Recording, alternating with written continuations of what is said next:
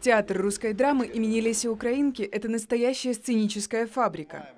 Это один из немногих театров, где в одном здании происходит полный цикл подготовки спектакля. Здесь собраны столярные мастерские, пошивочные и бутафорские цеха, огромные склады с костюмами и декорациями.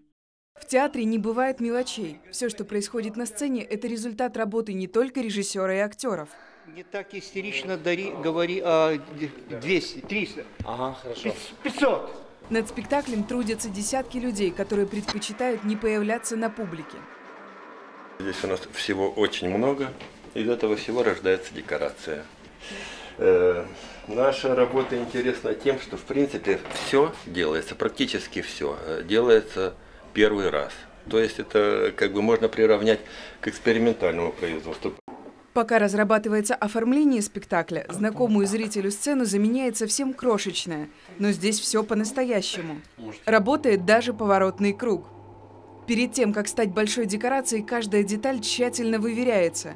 Мастер все делает вручную – и мебель, и фонтан, и почти игрушечные фонари.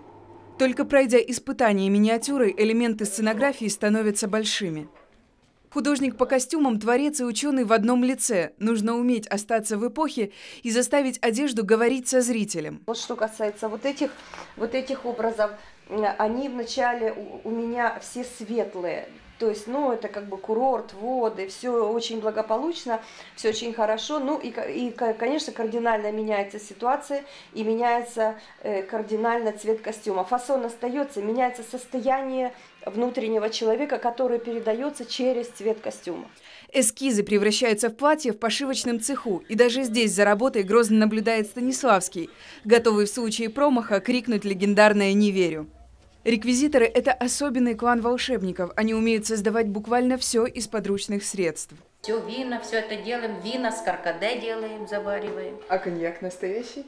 Ну, коньяк у нас чая. Картошка запеченная, фаршмак. Это все делается с яблок. Яблоки мелко тертые, яблоки крупно тертые, яблоки кусочками. Все это на тарелках очень красиво. Здесь все по полочкам. Спектакли разобраны по компонентам, и каждый хранится на своем месте. Перепутать что-то просто невозможно. Все мы подборки делаем, понимаете, вот на каждую актрису, первый и второй акт, на каждую.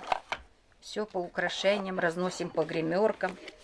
Это телефон, который вот дры идет. Так ему уже, наверное, лет 30. Отреставрировали, почистили, и он же будет еще 300 лет работать, если мы его бережем, понимаете. Вот, вот чернильный прибор, которому тоже много лет. Понимаете? Вот. Но он уже со спектакля в спектакль будет переходить, если это нужно. Как и декорации, все постановки укомплектованы и компактно ждут своего часа. Вот декорации, которые вы видите на сцене, большие, объемные, и их по ходу задумки режиссера-художника нужно сделать так, нам спроектировать, чтобы удобно было в хранении, демонтаже и монтаже. Огромные камни и здания сделаны из дерева и папье-маше, но даже вблизи не отличить от настоящих. Постановка спектакля длится от трех недель до полутора лет. Спектакль «Враг народа» литовского режиссера Йонаса Вайткуса готовили два месяца, и 2 апреля вы собственными глазами увидите результат тяжелого ежедневного труда всех этих очень талантливых работников театральной фабрики. Милый Петр, теперь я представляю высшую власть в городе. Мою шляпу и трость. Если ты полицмейстер, то это тогда фонд, начальник всего города. Верни шляпу, говорю тебе! Ты грозил уволить меня!